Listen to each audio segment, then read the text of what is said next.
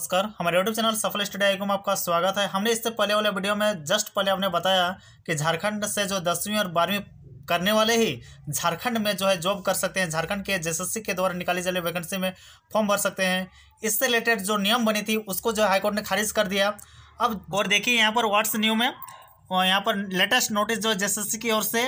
जो हाईकोर्ट का ऑर्डर है उससे रिगार्डिंग यहाँ पर नोटिस भी जारी कर दिया गया। Important important notice regarding elimination of tentative dates for various examinations यानी बहुत सारे एग्जामिनेशंस का जो डेट्स है एग्ज़ाम का, उसे किस तरह से क्या कुछ किया गया है, उसी के रिगार्डिंग ये नोटिस जेएसएससी की ओर से अभी जो है 16 दिसंबर 2022 का शाम पाँच साढ़े पाँच बजे ये नोटिस जारी कर दी गई है। इससे पहले हमने बताया था आपको कि जेएसएससी की ओर से जो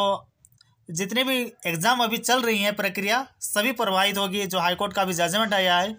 उसी के रिगार्डिंग हमने पहले ही बता दिया था कि प्रभावित होगी और उसी के रिगार्डिंग अब ये नोटिस भी आ चुकी है। ये झारखंड कर्मचारी चयन आयोग की ओर से जारी किया गया आवश्यक सूचना, दिनांक जो है सोलह दिसंबर 2022 को आयोग द्वारा परीक्षा कैलेंडर के माध्यम से आगामी विभिन्न प्रतियोगिता परीक्षाओं की संभावित तिथियों का प्रकाशन किया गया था। उक्त परीक्षा कैलेंडर को अपरिहार्य कारणवश विलोमित विलोपित किया जाता है। संशोधित परीक्षा कैलेंडर जो है बाद में प्रकाशित किया जाएगा। तो हमने इससे पहले बता दिया, जितना भी अपकमिंग वैकेंसीज हैं या जिसका भी अभी जो है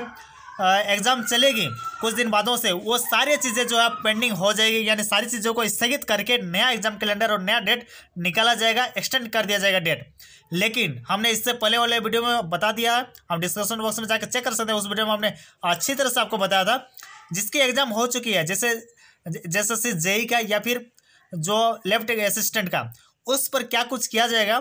वो जो है जैसे में एक मीटिंग बैठेगी, उसके बाद निर्णय लिया जाएगा, उसके बाद उसका जो है क्या कुछ किया जाएगा वो बाद में बताया जाएगा और ऑर्डर कॉपी तो अभी वर्चुअली आई है, अभी तो हार्ड कॉपी पहुँची भी नहीं है जो है जैसे के पास, इस कारण उतना जल्दी जो है उस पर निर्णय नहीं लिया गया है। ऑर्डर कॉपी को अच्छे से अध्ययन कर लिया जाएगा, उसके बाद जो है वकील से पूछ के, उससे के बाद, लगभग एक सप्ताह का समय लगेगा कि बाकी सबका क्या कुछ किया जाएगा, लेकिन अभी यही दोस्तों, जैसे सी हो या फिर मेट्रिक लेवल हो या फिर पीजीटी हो, सारे चीज़ों का अपडेट एक्सटेंड हो जाएगा। तो ये लेटेस्ट अपडेट है, जैसे की ओर से जो जारी किया गया है। शेयर की जगह ज़्यादा से ज़्यादा सभी लोगों तक ये न्यूज़ पहुँचे। धन्यवाद, जोहर, जय हिंद।